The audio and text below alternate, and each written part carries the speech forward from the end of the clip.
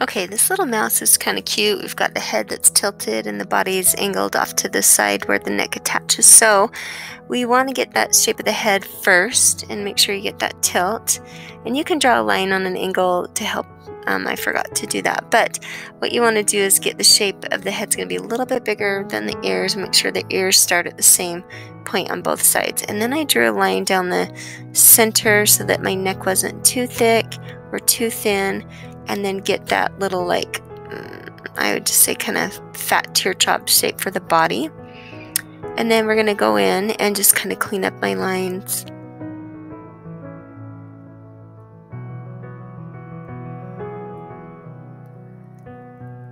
And then you just want to make sure you get those eyes in the right spot and um, the mouth and the nose about the center well in the center of the head. And then the arms are just kind of an easy little um, organic shape. So, um, you know, it looks like I dropped my, my arm on the right a little bit high, so just try and drop them the same um, length on both. And then um, the feet are just kind of like this soft triangle shape, and then you just draw little lines for them.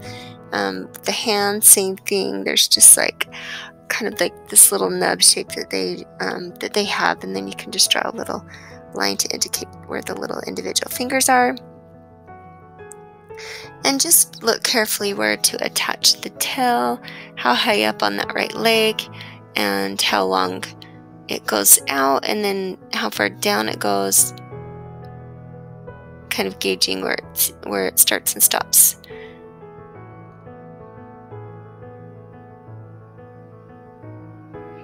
And then um, just make sure you drop that highlight on the eyes, same on both eyes. If you don't, sometimes it makes it look like they're a little cookie there. And then I'm just going to go in and uh, add the line work with the ink pen. Once it's nice and dried, we'll erase it. Drop a cast shadow, add some hearts. And then you're good.